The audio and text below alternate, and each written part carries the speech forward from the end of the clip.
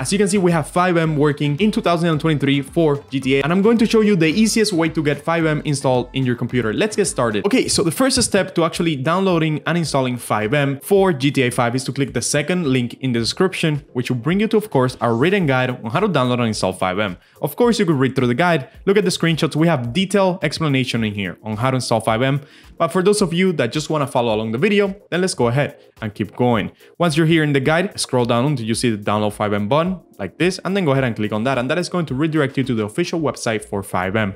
Once you're over here, you're going to click download client, make sure it's this one, FiveM.exe. go ahead and click on that. Now, ideally, you will read through this and you will click that you agree, but we all know that we're gonna skip through this and we're just gonna click that we agree, right? So make sure you click this little button down here that says agree, go ahead and click on that. That is going to start the download for FiveM. As you can see, I downloaded it earlier, so it's asking me where to save it, but don't worry, I'm going to re-download it and reinstall it for you guys so you guys can follow along. If you are using the newer version of Chrome, the installation file will show here in the top right after you click on this little arrow. If you still have the outdated version, it will be down here. And if you're using some other browser, well, I hope you understand your browser. Anyways, once you found the file to install FiveM, go ahead and drag and drop it into your desktop. Now, to start the installation process, simply double click on FiveM and that is going to start the installation. As you can see, it says updating FiveM. Just give it a second. And also, very important, guys, is that you have localized your GTA 5 folder. And what I mean by that is by finding out where you install GTA. As you can see, my FiveM already has found where I have GTA installed. Now, I know some of you might have bought GTA through Steam or through Epic Games. For example, I have it through Epic Games, as you can see right here. This is where I have my Epic Games folder. As you can see, if I click on Epic Games, you can see all my games in there from Epic Games, and then obviously GTA 5 and this is the folder we're supposed to find. Now, if you use Steam, let's say that you use Steam instead of Epic Games, you could actually find that folder by opening Steam, selecting GTA 5, and then going to the settings and finding the installation folder. And you could actually do the same for Epic Games if you want to find the installation folder. I'm going to go ahead and launch my Epic Games. I'm going to show you how to get this installation folder because you are going to need it for FiveM to find your game and in order to work properly. So let's say that you bought the game in Epic Games, go to library, find the game that you're looking for. In this case, obviously it's GTA. So I'm going to go ahead and scroll down for GTA, click on these little three dots right here, and then go to where it says manage.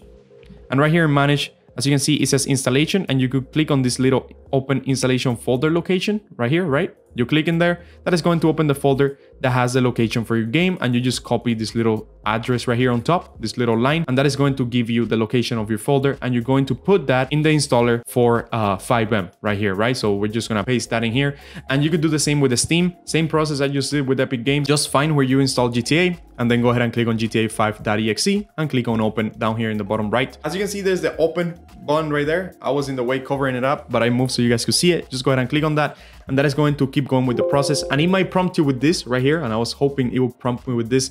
This means it needs to update the local data or something like that. Just click yes, okay? It's just a little quick update. It shouldn't be long, and after this, FiveM should be installed. It's not really a complicated process. It's really a two or three minute installations, and that's it you're set to play with FiveM to play roleplay.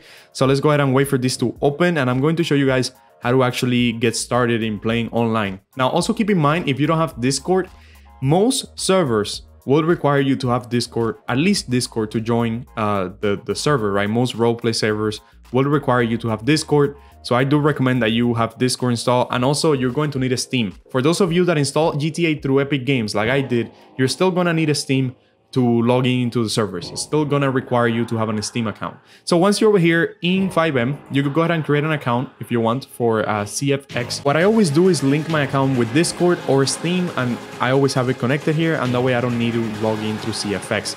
Also, if you don't like the music that you are hearing here in the browser or the launcher, I'm sorry, you could go to interface and you could go where it says enable background music and take it off.